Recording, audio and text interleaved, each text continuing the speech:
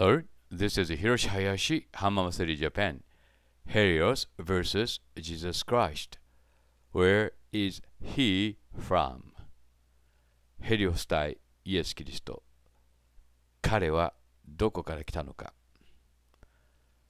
ここに2つのゼウス像があります。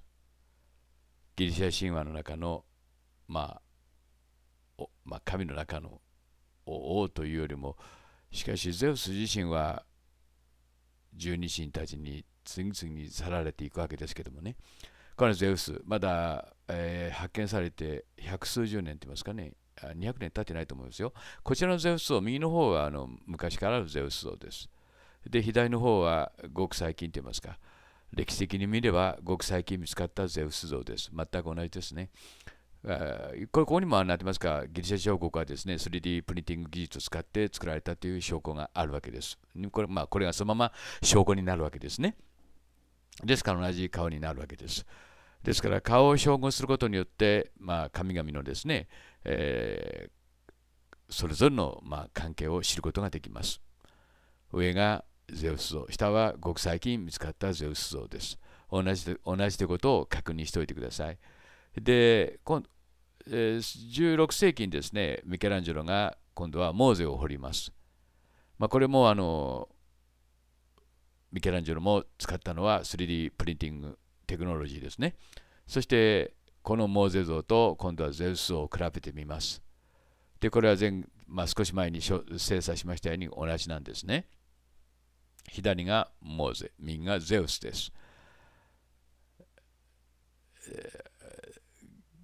もうミケランジェロがゼウスの顔をしてたかどうかという疑問もあるんですけどもね、いつ発掘されたかということは分かってませんので、えー、ともかくもあのこうして顔が一致するわけです。ただあの、写真を撮る角度がやや違いますので、あのそこら辺の照合は難しかったです。難しいということは、あのなんて言いますか、あのもう少し正面から綺麗なクリアな写真があればもっとはっきり分かったという意味でですよ。で、これがアポロンです。で、アポロンは誰かということなんですけども、この左に立っている男がアポロンですよね。太陽の神です。太陽の神って言われてますね。そので、アポロンとですね、今度はあのもう一人太陽の神がいるんですけども、まあ、ヘリオスがいるんですけども、アポロンも太陽の神、ヘリオスも太陽の神ですけども、まあ、アポロンに、まあ、大変仲仲悪かったですね。このあのヘリオスの性格もにもよるあの原因があったわけですけども、で、アポロンとあのヘリオスは、まあ、仲悪くて、アポロンが太陽神につくと同時にヘリオスは、あまあ、ギリシャ神話の世界から出ていくわけですよね。まあ、出ていくというか、いられなくなるんじゃないでしょうか。で、このアポロンという今度はミトラを比べています。これがミトラですね。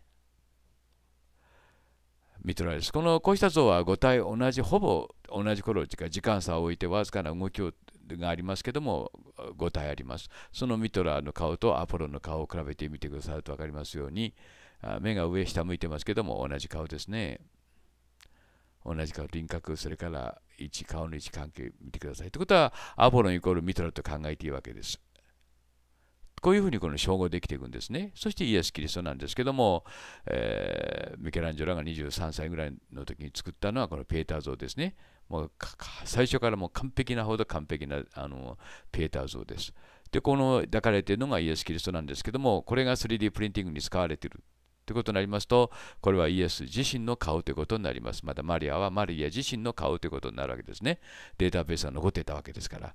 ところがですね、ヘリオスが、まあ、あの赤さんはジーダス・クライストになったというふうに私に教えてくださいましたけども、顔が、まあ、あの一致しないんですよね。で、ここで行き詰まってしまうわけです。行き詰まるということは、あのじゃあイエス・キリストはどこから来たのか、ヘリオスはどういう関係でどうなっていったのかという謎が生まれてきます。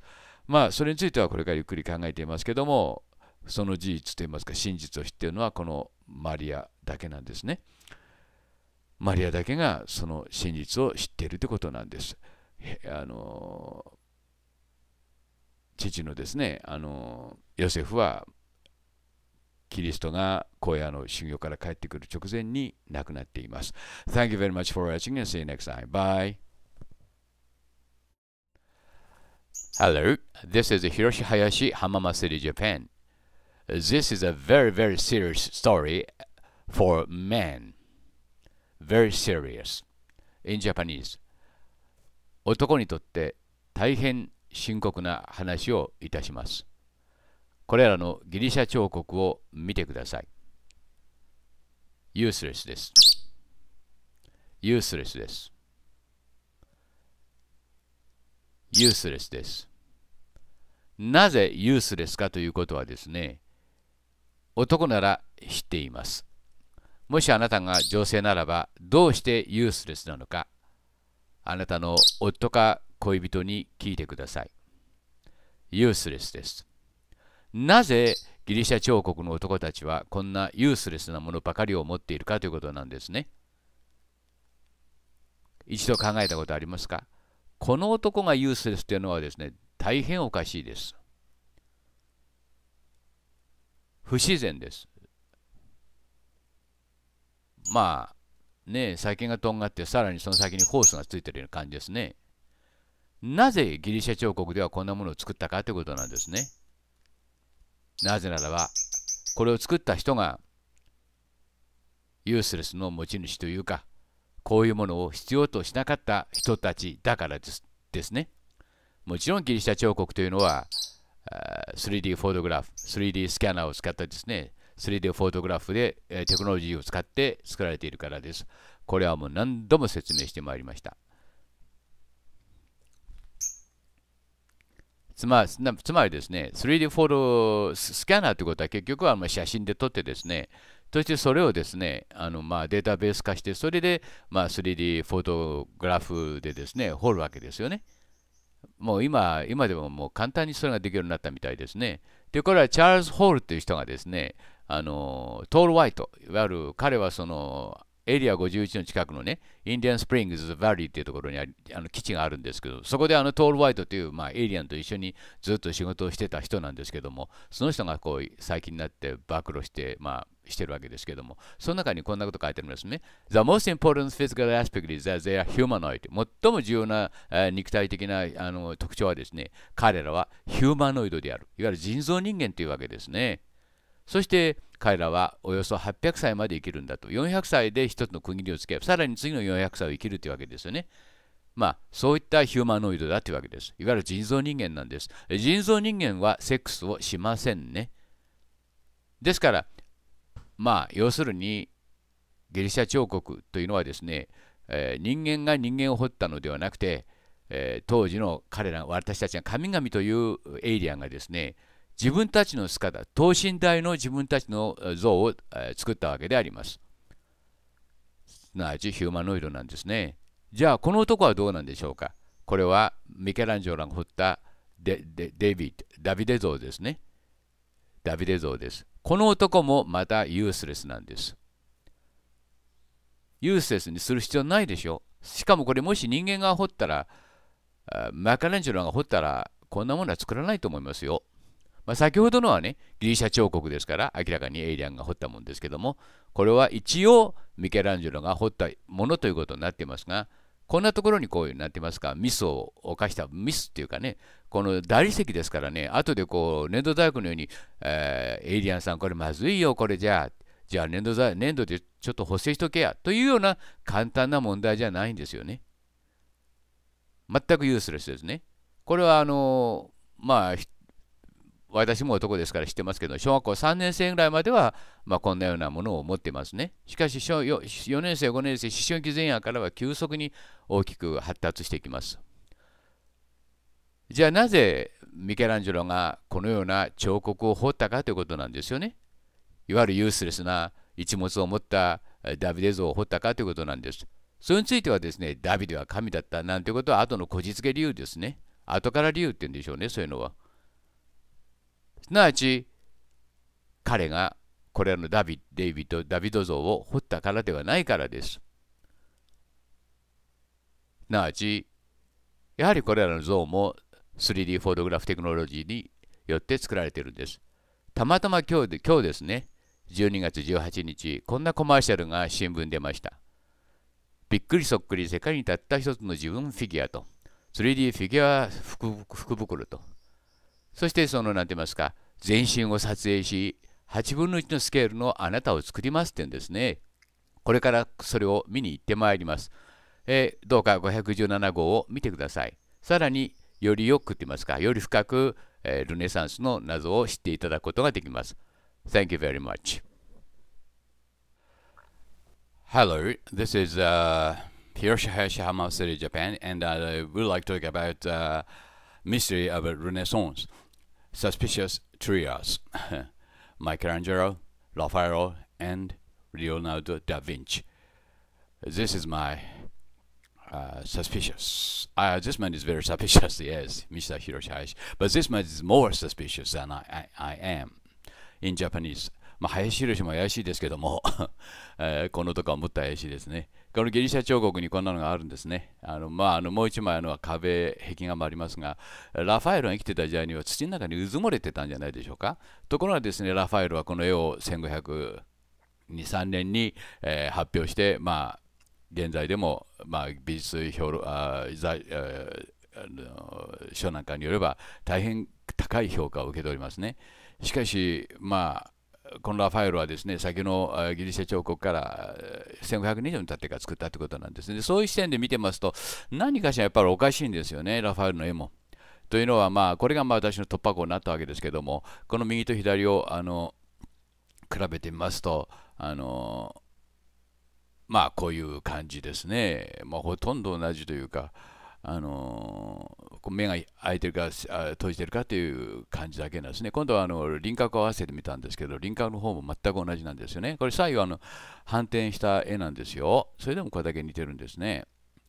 で、まあ、ラファエロの絵というのはですね、まあ、私見る限りどうもこう、2D 写真っぽいというか、あの本当にこの、なんていうか、その都度そのモデルさんを見ながら描いたというよりもですね、あのまあ、これは 3, 3人とも同じ女性だということは、まあ、あの一目瞭然なんですよね。あのそれを証明しろっていうのは不可能ですけども、あのまあ、顔というのはそういうもんですよね。多少あの傾き変えても、やっぱり同じ人は同じ人なんですね。ところがこの3人をよく比べてみますと、実にこう、なんて言いますか、あの微細な部分であの類似点というかにこだわっているわけであります。まあ、例えばこの髪の毛なんかでもこれ全く同じなんですよね。それからこれ、あの見るあの頭の角度が違いますから、あのあのぐっと左の方は回り込んでますから、この幅は狭いですけども、右の方はあのぐっと横からあの顔を見てますから、あの髪の毛のパターンは広くなるわけ、ワイドになるわけですけども、同じなんですね。で、左側の方の髪の毛も同じなんですね。で、こういうふうになっていると。あので、こういうふうに髪の毛も同じであると。それでこのよく向かって右側の目ですね、この女性の左の目ですけども、見ていただきたんですけども、ややこの目がね、あの目線が目の横線がですねずれてるの分かりますか？こんなところまで全部一致してるんですよね。で、これはまあ、なんて言いますか、写真によるものだというふうに私はまあ今判断しています。で、これは同じようなことがですね、ダ・ヴィンチについても言えるんです。えー、ダ・ヴィンチは、まあ、あの前にもあの何枚かあの自画像を残してますけども、この自画像がですね、あの同じなんですね。ただあの大きさがねあの違うということは分かってるんですけどもあのどの程度違うかということはあの資料不足というかあの調べた範囲では分かりませんでした。まあ、これはオリジナルの絵なんですね。でダ・ヴィンチまあ、4枚ここから精査してみますけども、1、2、3、4って、まあ、あのまあ4枚の絵をこう並べてみるわけですね。で、4枚目がですね、あのオリジナルはあの向きが逆なんです。で、これは先ほど言いましたように、あの紹介してある英字の文章を見れば分かるように、もともと反転してあるんですよね。で、私はこれをダメンチの絵をあの左右反転してみました。で、こうして並べてみますとですね、よく似てるというか、あの一見違うように見えるんですね。私たちがそのグラフィックあのデザインのソフトを使ってあのいあの白黒かけたりエンボイスかけたりエンボイスかけたエンボスかけたりするようにですねダヴィンチも同じようにこうしている可能性が非常に高いということになってくるわけです。ていうかまあ間違いないですね。それでこの4枚のようですね、それぞれあのこれからあの貼り合わせてみます。貼り合わせるとあのモーフィングとは違いますから気をつけてください。モーフィングの場合はですね、点を決めといて同じように合わせるんです。これこれはモーフィングじゃなくて、2枚の絵をですね、あの1から2とダブらせて一方をフェードアウトして、そしてフェードインしたっていうだけのあの作業なんですね。でもこれだけ同じ、これだけというかここ同じになっちゃうんですね。もう一回今度は2から3へとこの変化させてみます。で、同じようにこうずっとこう変わっていくわけですね。それで、あのー、今度は3から4へと変え3から1へと書いています。で4がですね花の形がかなり違っていて一番まあ異質というかあの出ませんが4からも書いてみます。全く同じだということは分かりますね。ということはもう写真を撮ったように、写真を撮ったように、写真と同じように同じだということなんですよね。これダヴィンチのこの英字を英文の説明見てくださいね。あの左右、私が反転したわけじゃありませんので。でもこのこれはこれは私が反転した絵ですけども、4から1に変えてみます。で帽子の側も帽子の位置も形も同じになっていくんですね。あの反転することによって。この1枚の絵だけは帽子の方あのかぶり方が逆なんです。で4から2一番似てないもの同士をこうむすあのこうフェードアウトフェードインしてもやっぱり同じになっていくということは、まあ、だんだんだんだんと言いますかあこれ写真だなっていうあの写真と言いますかあのまさに写真だなということが分かってくるんですね。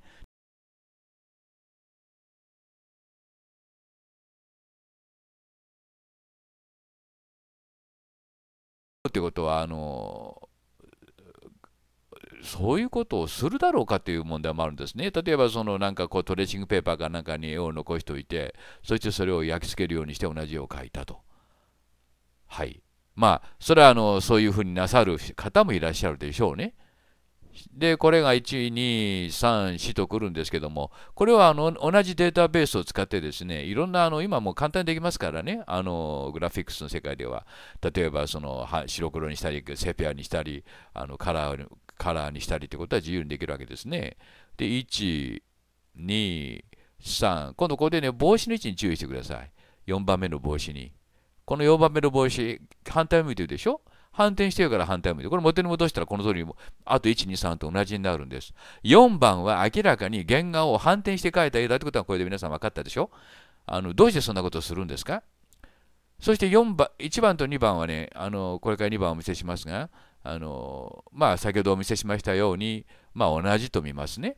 同じと見るというか、ひげをあの精査も、ひげの精査ちょっと大変なもんですからね、これ、あのよく真ん中の中央のひげをだけでもいいから、注意深く見てください。多少線を入れてるかもしれませんよ。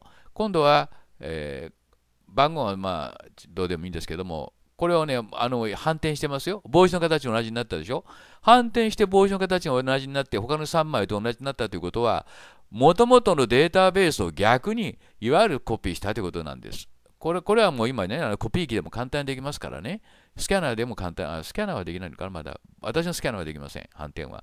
あのこういうふうにこう反転できまあ、あのグラフィックというあのソフトがあれば、デザインソフトがあればできますね。で、反転したら帽子と同じただ鼻のと形だけが違うんです。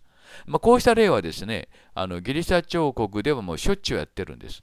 ほんのわずかだけ時間差をかけて、それでプログラム工作っていうんだそうですね。あのこれを専門用語で。で、プログラム彫刻。例えばこの2つの像を見てください。足の太さ、足の形、それから胸の線を見てください。同じ像でしょ？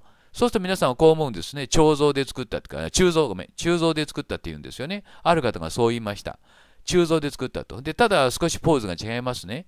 しかしこれ鋳造なんかで絶対できるわけがないんです。大きさが違うんです。21度62センチです。台の部分を除いたらまさしく、なんて言いますか、ちょうど3倍なんです。正確に3倍なんですよ。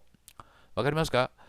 すなわちこれがあの本当の大きさです。じゃあ、モナリザはどうかということなんです。あじゃあ、コンテですね。で、ごく最近ですね、てかあの、もう一人のモナリザが出てきました。で、これは絵の具の鑑定だとか、あの、あのますから、その画布の鑑定によって、あのモナあのダ・ヴィンチの絵だということが証明されております。ところがですね、左と右を比べてください。ややまあ年配のダ・ヴィンチと若いダヴィンあのラジャコンテがいますね。これら2人は全く同じなんですよ。これは私が証明したんじゃなくて、すでに科学的に証明されて、それその上で、この右のこの若いモナリザはですね、あのダ・ヴィンチの作品だというふうに、もう正式にあの認定されております。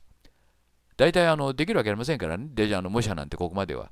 そして見比べてみてお分かるように、全く同じ、寸分たが同じなんですよ。で、皆さんはこういうのを見て、ダ・ヴィンチは天才だからできたんだっていうふうに片付けてしまいますけども、そう片付けてよいいいもんでしょうかさあ、じゃあこれは絶対別々の絵ですから、あの念のために申し上げてますとね、あの洞窟の聖母はね、同じ絵をね、2つに分けた、まあ、いたずらな人がいまして、それに引っかかっちゃいまして、まあ、詐欺に引っかかったわけですね。で、それを、まあ、うあの鵜呑みにした私がおバカさんでしたけども、皆さんに、まあ、私の信用なくせのことを、まあ、してしまいました。ごめんなさい。でもしかしこれは、この2つは全く別の絵だ。あのバックを見ればわかるでしょ？ところがですね、この絵はですね、2D のカメラで作られているんですね。多少後でね、絵の場合はですね、彫刻と違いまして、あの絵の具をね、こうあの塗りたくったりはできるんですね。まあ、ですからそういう部分をちょっとあの加味しておいてくださいね。あの全くあの技術彫刻のように、まあ、彫り方をシャープにしたりあの丸くしたりということはやってますね、ギリシャ彫刻。それからあのデータベースにランダムを加えてあの髪の毛を太くしたり細くしたりということはやるんですけども、あの今何を示しているかというとですね、当時のダ・ヴィンチの弟子たちの描いたモナ・リザのあの模写絵模写絵なんですね。これ全然似てないでしょ？似るわけ、まあ、それくらい模写っていうのは難しいんだってことを今皆さんにお話しているんです。ダ・ヴィンチのもとでですね、ダ・ヴィンチのの仕事を手伝ってた画家あの弟子たちの絵なんです。で、これはモナ・リザですね、有名な。で、このモナ・リザにはもう一人の若い女性がいた。今変えますからよく見ててくださいね。ほら、若い女性に変わったでしょ。これちょっと合わせ方が雑だったもんですから、あの目の位置が少し動きましたけども、あのまあ、これは私が証明したんじゃなくて全く同じだってことなんですね。あの寸ぶたがわず同じなんです。ですから、まあ、どうに切り張りしたって同じになっていくんですよね、これは。下が下とあの拡大が拡大大きいですから、あの縮小のあのあれがあのずれてますね。あの右の方がやや大きいですね。98%ぐらいすればよかったと思います。さあ、2番の絵、このこの聖母の絵を見てください。この聖母、いいですか？これがどうして 2D のカメラで作られたかという証明をこれからいたしますので、皆さんよく見ていてください。この2人の、まあ、聖母を、まあ、 painting A、 painting B としますけど、まあ、あの途中で入れ替わってしまいましたごめんなさいね。あのまあ、山のある方がこちらのあの後ろにね、あの鋭い山のあるのがこれが、まあ、このマリあのマリア像です。で、こういう時はですね、どこを精査するかというと、髪の毛を見ればいいんですよ、髪の毛を。そこで髪の毛を皆さんよく見てくださいよ。で、これがまあ、向こうが海ですね。これが聖母です。で、こっちの聖母はね、あの、いわゆるそのカットしてね、貼り付けたような髪の毛してるの分かりますか？あの、で、髪の毛がね、全体に小さいしね、あの、レースの透明部分がないんです。まあ、これも証拠の1ですね。あのさっきのあの山の方はですねレあの薄いレースを頭にかぶってるんですけど右の方はかぶってなくていわゆる私たちがあのコピーするときにコピーというかあの画像処理するときにあの周りをねあのマウスでこう削っていってそして貼り付けるでしょ。あれと同じような手法でですね下の方を見てください。あのレースがないでしょ。よく見てください。レースがなくなってるんです。そして透明部がなくなってるんです。そして今髪の毛を一本一本精査してるんですよ。これ後でもう一度やってみますから、あのもうあの見てください。そしてこの髪の毛がですね、一本一本一本全部同じなんです。いくら模写するって同じもあの像あの絵を描く言ったってね、ここまではやりませんよ。あなたならあなたならやりますか？ダヴィンチは天才だからやったってことになりますけども、こういうことができるのを天才とは言わないんです。わかりますか？そして、あのえっと、上の絵は上の絵はですねあの薄いレースが見えるのかな？あのそうですね。上の目が見えて下の絵が見えないというかあの見え左上の絵の一番左を見てください。薄くレースみたいなの出てるでしょ？下はそれがないんです。で今度は同じようにこう縦で縦で見てますと同じようなことが起きてるんですね。レースの部分だけをね、もう海の岩で隠してるんです。右の方見てください。ごまかしてるんです、線を。こうしてあの背景に映らないようにあの透明分を消してるんです。ここにはレースのもの左、左はレースがありますが、右はレースの部分がないですね。そしてその上の透明のレースの部分も消えてるでしょ。さあ、これから皆さん、あのこれがね、2D フォトグラフで使われたという証拠をお見せします。この絵の中で唯一動いてる部分があるんです。子供の顔なんです。ほんのわずかですけど目が動いてるでしょ？わかりますか？それから口が動いてるでしょ？口が上上へ行ってる。それから鼻がちょっと短くなってますね、右の方は。やはりほんの瞬間ですけども、子供は鼻を、顔を上を向けたんです。まだ疑っているのは、この腕を見てください。いいですか？右の方は腕の長さが長いでしょ？下の方は腕の長さがなあのほらやっぱり長いでしょ？子供がほんの瞬間だけ伸ばしたんですそしてここに隙間がありますねこれどういうことかというとですね2枚の連続写真連写したんですバッチバッチと。その間にね誰かがねあんた動くんじゃないわよ。そこ今ね写真撮るからね動くんじゃないわよ。にゃにゃにゃにゃにゃって言ってる間に子供がパッと動いてしまったんですね。ほんの瞬間の間に。ですからこれだけ腕が動いてしまったんです。他は全部ね、寸分たがわず同じなのに、どうしてここだけが違うかということを皆さんもう一度考えてください。で、もう一度この絵を精査しています。あのー、精査するということは、もう一本、もう一回ね、髪の毛を一本一本、もう念のためでもか、ダメ押しというかね、もう 林博は意地になっておりまして、皆さんに、まあ、あの、大変、あのね、あのなんて言いますか、間違った情報を与えてしまって、まあ、き昨日は一日中落ち込んでましたけども、まあ、やる気なくしなくしましたね、はっきり言って、もう、うわーって感じで。しかし、我らが目的は成功することではない。失敗、あるいは挫折にめげず前に進むことである。なんてね、自分で言い聞かせまして、奮い立たせまして、もう一度やっています。さあ、皆さん、髪の毛精査してみましょう。よく見てくださいよ。これはね、まあ、よくもここまで、まあ、同じものを書いたんじゃないんですよ。同じものの上にね、その嘘がばれないように新しい絵の具を塗り込んでるんです。ダヴィンチさん、ここまでやるんですね。まあ、やらないけどやる、まずいですよね、これ。ところが、髪の毛の数は全然変わってないんです。位置も変わってないんです。太さも変わってない。太さは下のは太いですけど、全体に。わかりますか？よく見てください。いわゆる上の絵上の原画のようなものがあって、そして下にこの、なんて言いますか、あの髪の毛にね、あの絵の具をつけて、もう一回足していったんですね。はっきり言います。ダヴィンチが書いたのはここだけなんです。こういう部分だけなんですよ。よく見てください。私を疑いならば、ビデオを止めて皆さん自身で判断してください。髪の毛よく見てください。いいですか？いくら模写するってあって、ここまでは普通はやらない。やらないというか、やれないですよ、人間って。まあ、あなた、どう思いますこれ、これ常識で考えてください。あなたの常識を使って考えてください。同じでしょ？太太さも線もここのところも。これが私が言いたかったことなんです。この情報あの方法はですね、実はギリシャ彫刻でも使ってるんですよ。ギリシャ彫刻のミロのヴィーナスとガンダーラの釈迦竜像は髪の毛のパターンが同じだっていうのはそういうことを言ってる。上と下はそれ違いますよ、見た感じは。しかしパターンは同じだってことを言ってるんです。私が言うパターンっていうのはそういう意味なんですよ。同じでしょ？皆さん自身の目で判断してください。そして、ダヴィンチがどういう手法を使ってこれを書いたか。これは手法を書いたんじゃないんですね。明らかに写真なんです。いわゆるダヴィンチは 2D のフォトグラフテクノロジーを使ってたということなんです。じゃあそんなもの1500年代にあるわけないというふうに考えるでしょ？あったんですね。誰かがそれをダヴィンチに与えたか、ダヴィンチにその技術を使って絵を描かせたんです。ですからルネサンスと言うんです。ルネサンスというのは最高、あるいは再生という意味なんです。ローマの国境となったキリスト教でしたけども、500年頃からどんどんどんどんされて、もうどうしようもない状態になってしまうんですね。1500年頃にはもうめちゃくちゃになってしまってたんです。ですからもう一度ルネサンスで、えー、キリスト教の最高を、ね、あの狙ったわけであります。で、このマリアもね、よく見るとね、動いてるんですね、少し。あの顔は同じなんですけど、見た感じ同じなんですけどもね、あの合わせ方がちょっと難しいんで、角度が動いてるんです。あの顔の角度が。あの右の方がやや傾いてる。で、ここにいるこのマリアもですね、あの同じ人なんですけども、髪の毛ちょっと乱れてますけども、これはあの透明感がありますね、髪の毛に。いわゆるその元の写真データベースを使っているということなんです。で、この3人は実は同じ人なんですね。まあ同じ人だということはですね、あのよく似た人かって言われちゃうと困りますけども、真ん中のマリアは微笑んでるんです。まあ私この絵に騙されたわけですけども、このマリアね、あの下の絵のあのこのこの女性に騙されたんですね。ごめんなさい。騙されたってことはあの別にダビジ騙されたわけじゃなくて、現在のどどなたかにね、あの騙されたわけで申し訳ありませんでした。あの今度からちゃんと確かめて、あの 確かめます。本当にね。あのはい、あのしかしこのマリアの聖母のエンジェルの顔は確かに動いてますね。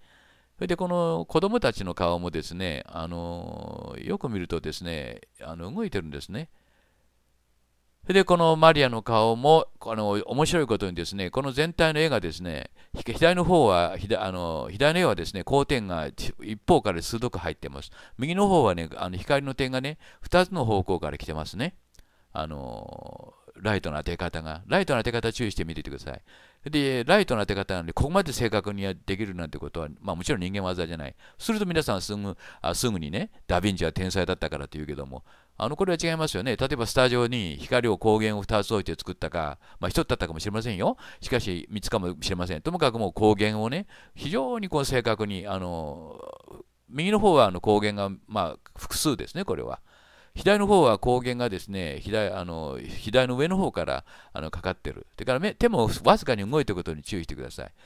それからあの服も動いてますから、わずかな間にあの使ったか、あるいは手は後で変えた可能性もありますね。というのは、下の子供が、ね、入れ替わってるあの雰囲気で、これは断言できませんが、あの顔を見る限りあの子供が入れ替わってますね。ということは、かなりあのあの右右の女性も服を変えてますからね。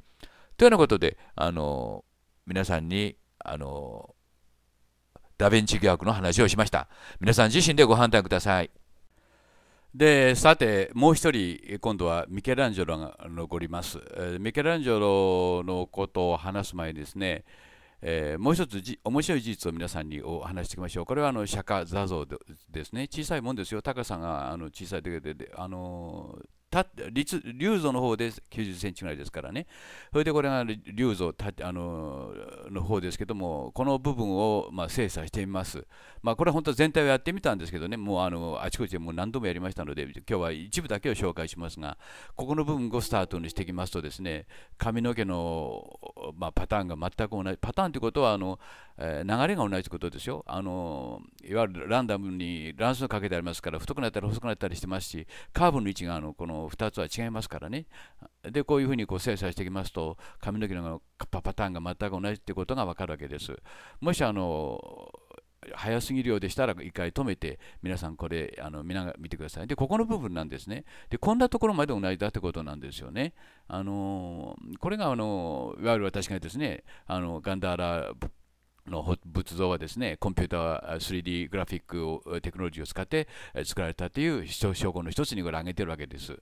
でこれから話すことはミケランジェのことですけども、まあ、これは私の孫の政治という孫なんですけども、この子供の顔というのはですね、あの後でも紹介しますけど、まあ、非常にこの見る角度、見る様子、表情によってどんどん変わっていくんですけども、どうだからラファエロの絵の場合はですね、まあ、これラファエロの絵なんですけども、みんな同じというか、同じパターンで、同じパターンでというか、あの同じ本当に同じ時に同じ場面でこう写真を撮ったのを使ってるっていうことがよく分かりますね。あの幼児っていうのは本当に数ヶ月ごとに顔をどんどん変えていきますからね。あのしかしラファエロの絵の中の子供は変わってないと。例えばもう一度私の孫の写真を見ていただきますけども、ほとんど同じ頃撮った写真なんですけども、まあ、本当にこう、別人同じ人物だってことは分かるんですけども、何て言いますかね、顔の表情っていうのはどんどん変わっていくわけです。あのまあ、我々のあのヤング・オールドマンとは違うわけですね。そういうことも考えながら次のビデオを見てください。Hello, this is Hiroshi Hayashi Hamamaseri Japan. Today's story is about Michelangelo di Bonarotti. He's a very strange man, and something is very strange about him. This is a story about it.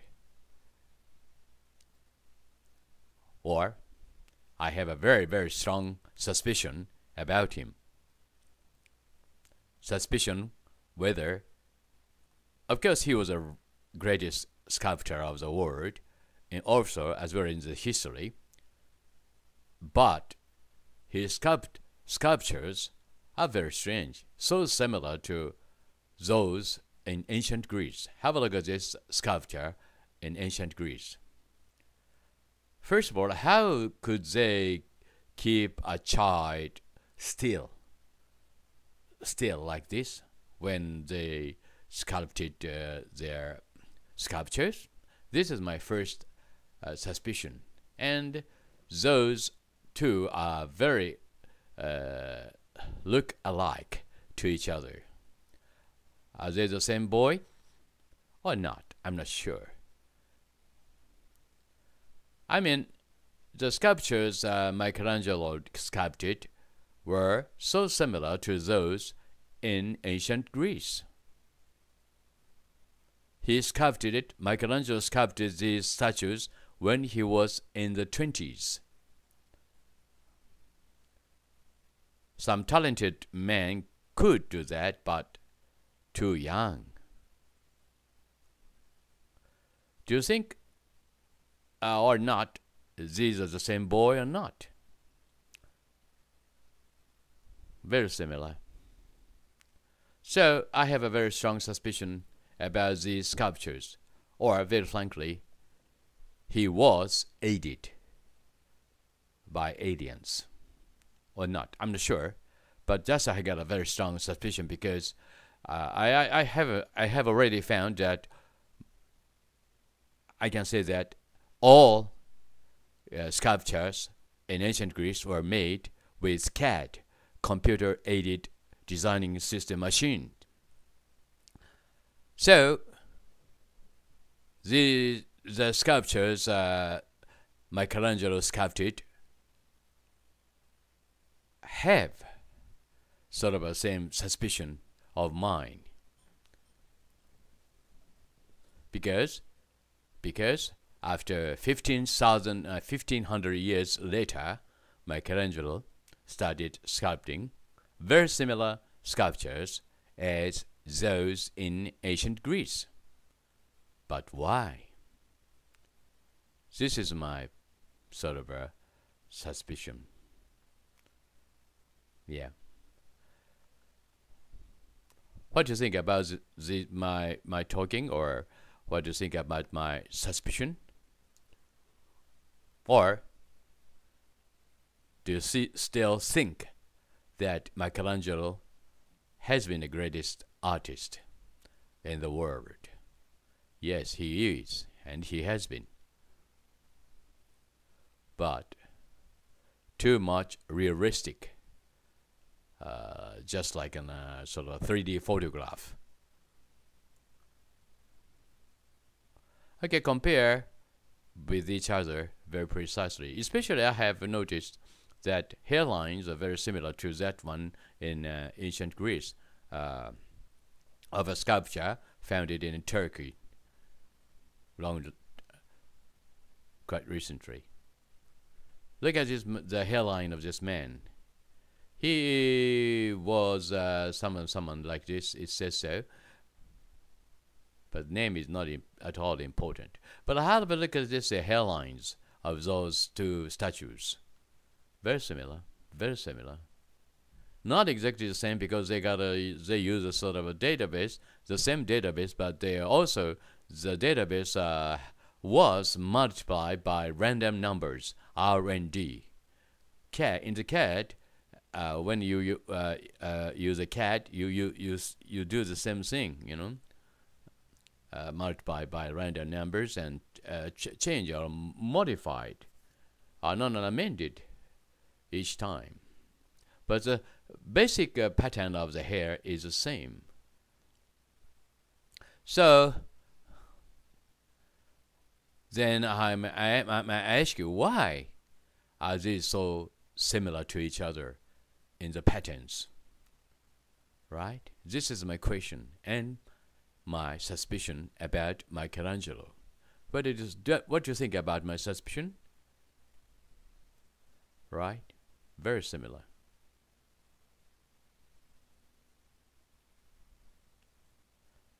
What do you think about my suspicion? This is my question. Right? The hair pattern is the same. Right. Anyway, I uh, video number 259 will follow this, and please uh, watch video number 259, which follows this video, and decide by yourselves, right? Anyway, I will keep examining him very much in the future too. because I don't think these are just coincidence. So I say, what do you think about this fact? Or you may think that these are just a coincidence. Or you may think so, but but something seems to very very strange to me about him. Michelangelo di Buonarroti. And at the end of this video, please have a look at these two photographs. Photographs. In this photograph, in these statues, uh, Michelangelo sculpted, Maria seemed to be a very big woman, but in this in this statue, Maria seemed to be a very small woman. Why? Because Jesus Christ looks very small uh, and and sometimes very very big. This is another mystery, isn't it? Right? Strange. I say strange.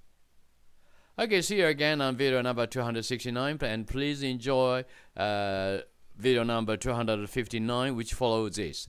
Thank you very much and again see you again. Bye. Hello, this is Hiroshi Hayashi Hamama City, Japan.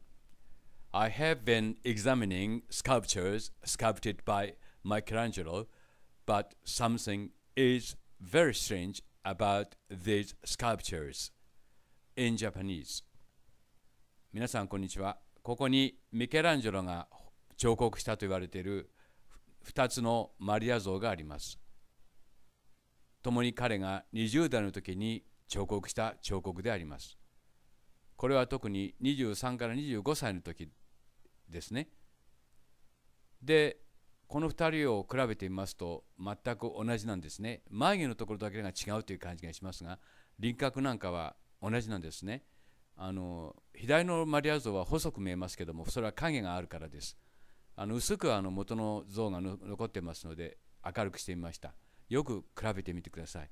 あのいわゆる何て言いますかややデコボコした感じの顔で同じなんですね。で特に気になるのがこの額にある一本の線なんです。で特に上の線はですね段になっていると言いますか本当に後からあたかもくっつけてそして一生懸命磨いて修正したというような感じの線なんですね。下の線もそうなんです。こうして明度をあの下げてみますと非常に線の様子がよくわかります。どうしてこんな線があるのでしょうか。で同じに作ったにしてはここだけが極端に違うんですね。眉毛だけが。下のマリアル像はスーッとあの細いですけども、まあ、ご覧になった通りです。ところがよく見ると上のマリア像の眉毛も基本的な線は同じなんですね。この目の付け根、非常にこの、なんて言いますか、繊細なラインですけども、同じなんですね。よく皆さん、比べてみてください。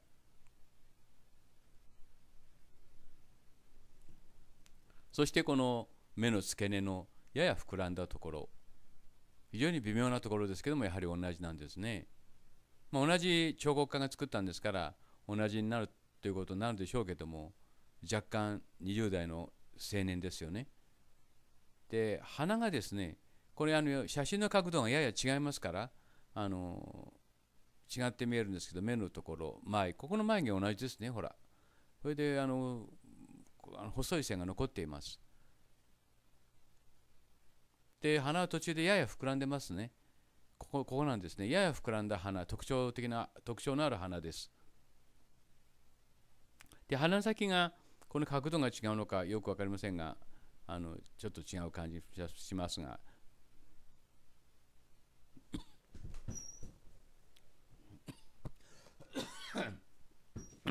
小鼻の付け根それから目の下の目ラインをよく見てくださいね。角度が同じですね。で口もですねあの左の方は磨いてはあるんですね。あの大理石というのは彫刻した後磨きますからその時にあの線が消えてしまうということはよくあるわけですね。でまあ、しかし基本的なパターンは同じだと見ていいわけです。で横顔を見ればまあから同一人物だと分かるんですけどもしかしいくらあの皆さんよく常識で考えてくださいよモデルが同じでも同じ像を作るっていうのは大変なことですよね相手は大理石ですからあので何かがおかしい。この2つの像を見比べてますとね。そこでまあ私はまあ非常にまあギリシャ彫刻の例がありますので、非常に疑って見てるわけであります。特におかしいのが、この2本の手か額の線なんですね。一番目立つところでしょうそんなところにどうしてこの線があるんでしょうか私はね、ただあの、まあ、ギリシャ彫刻の例から考えてですよ、こういうふうに疑ってるんです。まあ、あの、もともとこれはギリシャ彫刻ですね。で、この髪の毛のパターンとマリア像と同じなんですよ。で、まあ、布をかぶせ、まあ、キャドでは簡単にできるんですけどね。まあ、もちろん人間が使っている CAD よりもはるかに複雑な高度な CAD ですよ。そして誰かの顔を持ってくる。ほとんど同じ時頃に撮った 3D, 3D のデータベース化した顔を貼り付ける。そしてマリア像を作っていく。だから額にこの線が残ったというふうにも考えられなくはないですね。Hello, this is Hiroshi Hayashi Hamamaseri Japan. I examine again Michelangelo di Buonarroti, uh, Firenze, uh, because I have a very uh, strong suspicion about him. Uh, and uh, this is another story about him. And uh, I would like to point out, first of all, the fact that in ancient Greece, they made almost the same statues at the same time, sometimes two or three together. And have a look at this uh, example, right? Uh, the, the, both are almost the same, but slightly different uh, because they are photographed uh, after some time intervals. Have a look at these uh, legs and uh, position of the backside and and the legs slightly different to each other. And uh, her left hand is up a little bit uh, lifted up like this. Excuse me, I got in a cold last week, a few days ago, and I've, my voice is no good. And it is meaningless to discuss which one of them was ma uh, made first. And this is another example, right? Right? These are two the same ladies, uh, but uh, slightly different to each other have a look at this uh, here knee, right? A little bit up and upper and down, and this part is just bit different. And sh sh her, sh she turned a little bit farther, and uh, the angles of the uh, uh, yeah, a bit different. Anyway, I'm sorry for, my poor English. Anyway, these sculptures were made, uh, not created at, at the same time and as in the same studio, I'm sure. But the, look at this is very notable uh, because uh, hair pattern or hairline is very different. Have a look at and compare with them each other. Hairlines are very very strange, right? If they're the same models, they got to choose. They they should have had the same hair styles, but they got a different uh, styles of uh, hair, like this. So I I I uh, sort of I so I say that uh, sort of a uh, hair is a sort of a key word to solve the mysteries of the ancient uh, Greece and as well as uh, mysteries of uh, Michelangelo di Buonarroti. And now I, am I just uh, compare with uh, compare the statue created by Michelangelo with statues in ancient Greece they are very similar in a sense. Or the, if someone says that they're created by the same sculptors, I would never hesitate to say no. Uh, yes, sorry, I'm sorry, my English is wrong. Anyway, uh, have a look at this and comp- uh, see uh, each other these statues, right? They're very similar, and uh, sort of uh, the David um, sculpted by. Uh, Michelangelo is a collection of the collection of the ancient uh, Greece uh, sculptures uh, created in ancient Greece. Uh, uh, really collection. So I tried to find the same one, but I could not find it. Uh, I went to library uh, twice or three times these days, but I could not find this sort of same statues, but very similar. Each part of the body is very similar to uh, each part of the bodies of ancient uh, statues of ancient Gre- Greece. So I say uh, David, created by uh, Michelangelo, is a collection, maybe is a collection of uh, the statues of uh, ancient Greece. Am I wrong? Well, what do you think about my idea? Because uh, just remember that uh, my, uh, Michelangelo created this statue on the right, uh, left side in uh, 15th uh, uh, century, right? And ancient Greece. Okay, now this is a very important point. Have a look at this hair, right? Hair pattern is very similar to each other, but I could not find the sort of a more than the similarity, anything in more than the similarity, uh, or just I say I say similar, or just I, like a bit, but uh, not exactly the same. So I can't say that I can't say that this uh, uh, David was created by aliens or not at this moment. Uh, Michelangelo was a great artist, that is true. Uh, but also, I am I have a great suspicion about him now because I found a little bit more fact, uh, which I can show you in the following video. Uh, maybe you will have the same suspicion too. Anyway, ladies and gentlemen, uh, have a look, uh, have a com- have a comparison, have a compare with each other, right? Just uh, yes. So nowadays it, we got a sort of special uh, uh, devices to carve or uh, sculpt or these statues uh, easily. But between them, there are there is a year over uh, one uh, 1700 and 17, uh, 1800. So uh, just I will examine Michelangelo further in the near uh, in the future. Right. Thank you very much for watching, and please enjoy the following video. Uh, thank you very much. See you again. Hello, this is Hiroshi Hayashi Hamama City, Japan. This is video number 248 plus alpha. And uh, I have examined uh, the sculpture uh, sculpted by Michelangelo, and uh, I found another fact. And here is the report. I'm sorry, the photograph is not is are not clear, and I'll try to get much better one in near future, and I can examine them again much uh, much more precisely.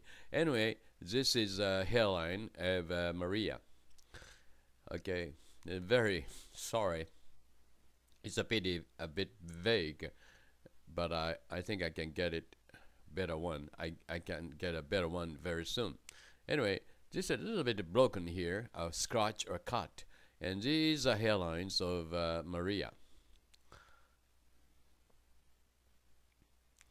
And uh, I think it is a sort of uh, two combinations, or uh, I, I'm not sure about uh, lines. There, there, there are two lines.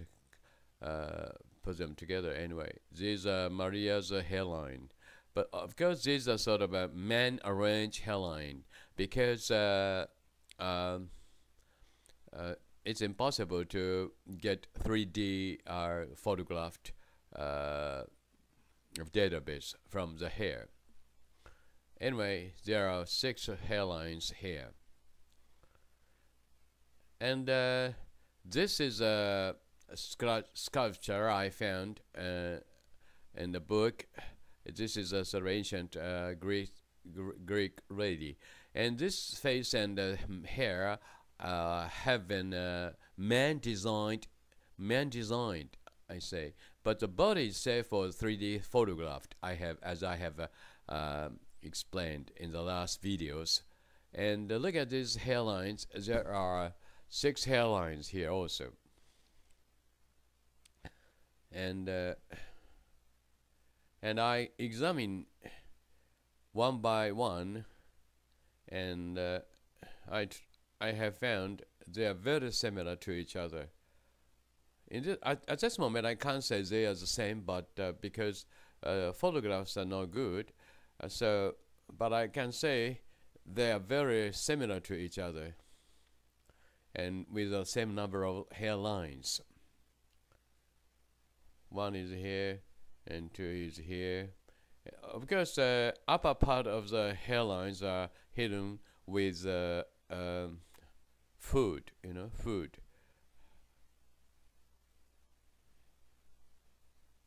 And hairline is here. And uh, on the right side, I, I, measure, I fix a sort of datum line to examine the hairlines. And th- these hairlines are very similar to each other. Yes, like this. So if someone says that uh, this is a, this got the same hair pattern, I'll never. Uh, I, I, I don't I don't hesitate to deny it. And this is a report uh, uh, at this moment, and I will examine the hairlines again when I get a clearer photograph of Maria.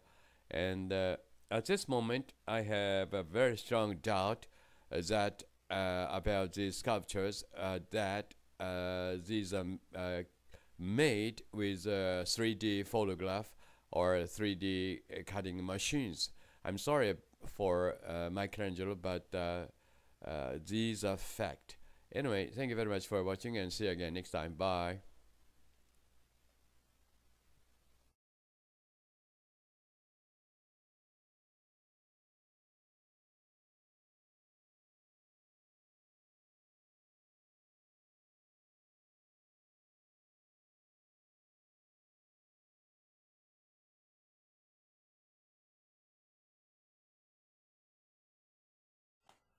Hello, this is Hiroshi Hayashi, Hamama City, Japan. April the 1st. But this is not a sort of a lie. And this is a story about a Michelangelo in Firenze. And I found something very strange about Michelangelo. Just I think so, I feel so. And this is a story about it. Okay. Uh, the reason why I uh, became to think so is that I found this uh, line on the forehead of this uh, statue, and uh, which was created uh, by Michelangelo. Have a look at this line. This is a very strange line. And what is this, and what is this for? Or is this a mistake of Michelangelo? And what is this line? I just wonder. And I found another line on the same Maria, uh, another statue, uh, statue, sorry, uh, uh, on the forehead of her face. The same, the same, nearly the same line on the same place. And what is this line? Is this a kind of clears? No, I don't think so, because it is uh, under the hair. What is this line? And what is this line for? And I found the same, nearly the same uh, line, a pattern of line, hairline in this uh, uh, statue in ancient Greek, Greece. She's got a very similar hairline with a statue, uh, with a statue created by Michelangelo, and just compare them with each other. Okay. And this is a statue of, as I told you, uh, in ancient Greece. And I've got this uh, line and uh, this part of course this part is very similar. And and I checked line one by one each like this. And second one is here. And uh, three are three lines are above it. One two three. And very similar. And uh, yeah this part is very similar too I I think so what do you think about this line? And this fine line is here, and the four line gather uh, here. It's very similar. They are very similar. But I know they're exactly the same. Uh, as to the ancient uh, statues in ancient Greece, uh, they use a sort of uh, random numbers R and D to make uh, uh, uh, statues, especially for hairlines hair is a sort of a very delicate uh, part of the body. and have a look at this and uh, compare with them very carefully. And I found that they are just similar, not exactly the same, but uh, I just wonder why they got the same hair lines, hair uh, sort of uh, lines to each other. Or I just I, I, I just uh, think this is just at this moment just a coincidence. Okay, just a coincidence.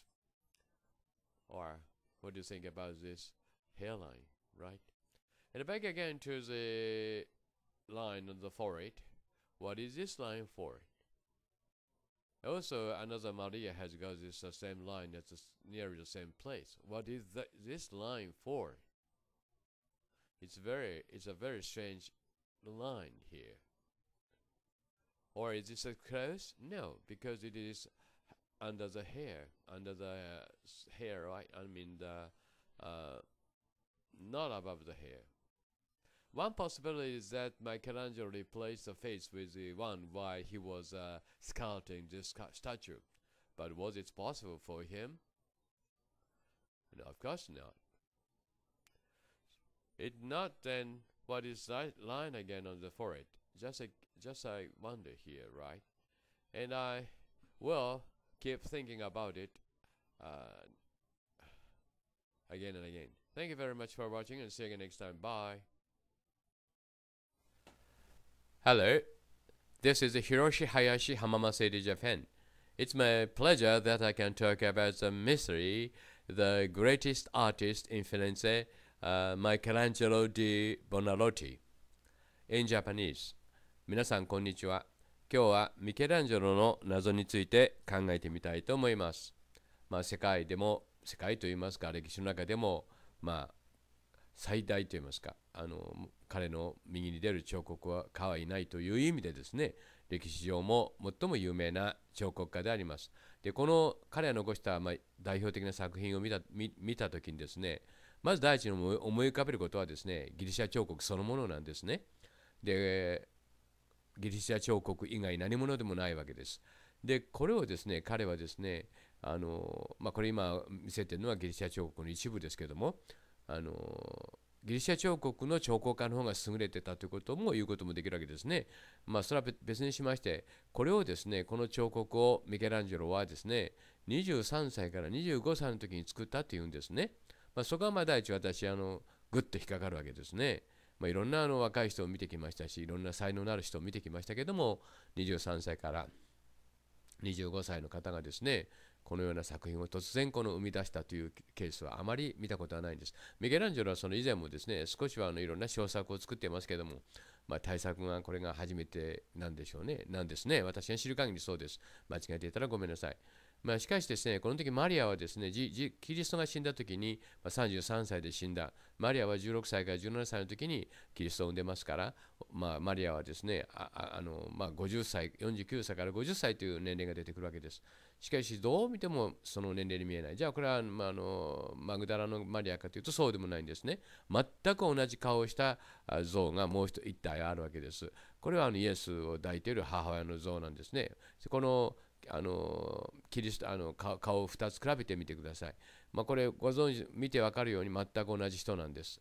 よく見比べてくださいね。やや長めの鼻、口がやややこのへの字がなったところ、そして目がですね、まあ、独特の目ですね。で、やや右の左の方が目を開いている。眉毛も同じですね。あの全く同じと言ってみるんですね。それから特に気になるのはこのフードですね。頭のフードを見てください。これ順に追っかけてみますと全く同じなんですよ。ただあの時間差ありますからあの多少ねあの歪んでるというか、まあ、衣装合わせしたとか衣装直ししたという感じはします。しかし同じフードをかぶってるんですね。さらに詳しく見てみましょう、えー、順に見ていきますとこの左右の方からですねこの線が入ってるところ。でこのあのちょうど中へこう入っていく収まり方ですね。それからこの部分ですね。あの2つのあの布があってですね折れ曲がって入っていくところ。それと大きなその何て言いますかあのフードが上にあってそしてその下にあると。でここ日本のフードがあの折れ曲がってますね。それから中にもう一本あってそして中の薄いのにとつながっていくわけです。でこれがですね本当に偶然の一致なのかということなんです。あのミケランジェロですから当然まあ同じものを見ながら作ったということはもう見ながら作ったことはありえませんね。あの工房と久あのそれからあの飾ってあるあの寺院とは違う場所になるわけですから。でからこの女性のね、まあ、あのちょっと俗な言い方ですけど、喉から乳首の飛距離を見てくださいね。かなり、まあ、あの日本語的で卑猥な言い方しますけど、かなり下の方にこのあの胸がですね、垂れ下がっている特徴がよく出てますね。あのまあそういう感じの女性なんです。で、これらの事実からですね、このモデルの女性は同じ女性だということがわかるわけです。で、この像はですね、あの何年にできたかということは大事なんですけども、これがですね、1900あこれは1500年ですね、あの右の像は1500年に完成していると。で、左の像は1504年に完成していると。ちょうどまああの1年後から作り始めて4年 ,4 年後に完成してるわけですね。で、この左の像は18歳の時のあるいは推定で子供赤ちゃんがですね、2、3歳ということで計算しますと18歳ぐらい。で、右の方は49歳から50歳ですよね。ですから、まあ、同じ顔の女性だから、まあ、これは同じ聖母マリアということになるわけですね。で、キリスト教徒の人たちはどういうふうに説明しているかというとですね、ま、マリアは年を取らなかったというわけですね。若いまま、その、まあ、一生を過ごしたということですけども、そのことはまあ、まあ、それキリスト教徒の方がおっしゃるだけですけども、特に気になるのはこのラインなんですね。なんでミケランジェロはこんなラインをね、額の上に残したんでしょうか。布かなと思ったんですけども、この部分を見ると布でないこと分かりますね。あの髪の毛の下に入ってますから。ですから布じゃない。しかしこれ非常に稚拙なラインなんですね。額の一番目立ったところに両方とも同じラインが入ってるということなんです。これ非常にあの興味深いというか、あの面白いというか、あの面白いという言い方失礼ですけどね。で、この袖を見てください。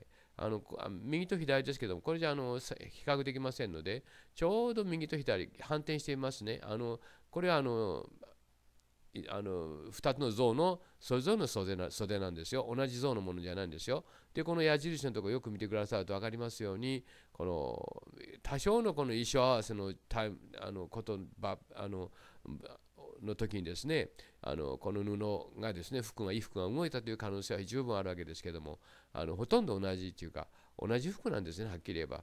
あのこのライン。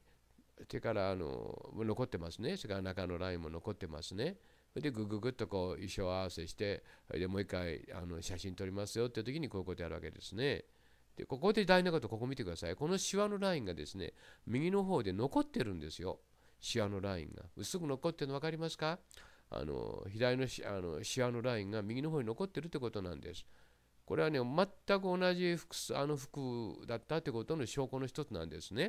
っていうのは、やまあ、あのに同じモデルを使ったにしてもですよ、ここまで同じ服、じゃあお前明日、明日からまた同じモデルになってくださいと、ね、なってくれよと。で、その時は前来たのと同じ着て物を着てきてほしいというような感じでできたとは私は思いませんね。同じ時期に同じようにしてあの 3D のフォトグラフが撮られたと言ってもですね、まあそう言われても仕方ないんですよね。それからいろんなおかしな点はあるんですよ。